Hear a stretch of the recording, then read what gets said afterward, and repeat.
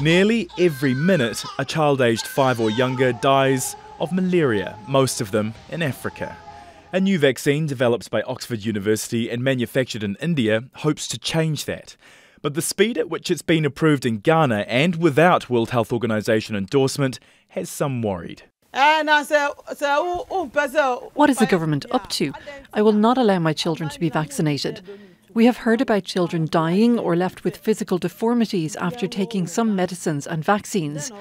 Is the government thinking about the safety of our children at all? I will only use the vaccine after countries have gone through the trials and the WHO approves it.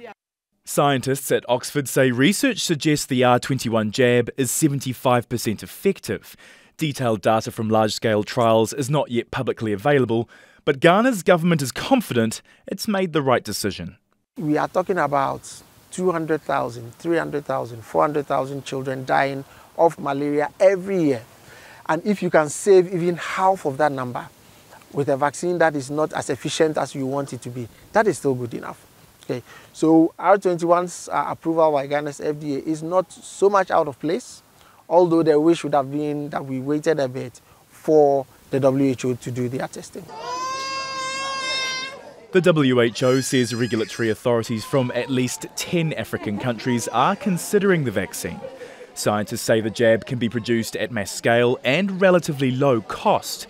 It's already undergone trials in the UK, Thailand, and several African nations. The FDA, with all its capacities and competencies, certainly has looked at the dossier that was presented to it, and uh, uh, uh, uh I have no doubt that they based the, their their decision on what was in the dossier.